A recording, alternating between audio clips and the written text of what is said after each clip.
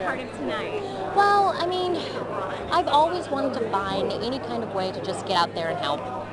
So, I mean, it's, it's, it's a no-brainer. I've been doing this ever since I was 14. So if I'm passionate about something or if it, you know, seems very interesting, and I'm there. I'm there. And I, and I also wanted to, to use it as a, as a great excuse to get my husband out for us to have date night here. We haven't had date night in Los Angeles in like forever. Forever. We've been in hiding like up north in Napa. So this is a nice one. You get to get dressed up. You're helping at the same time. So, and it's a lot of fun. I heard. This is my first year. Fun, and then we'll get into going on. Let's see. CeeLo, I've he's just crazy in a good way. So I can't wait. I cannot wait to just see him perform. I mean, I've seen him on The Voice. Um, I think he's phenomenal. And then also, like, just to, to get down and, and, and loose with my husband, it'll be nice would be nice.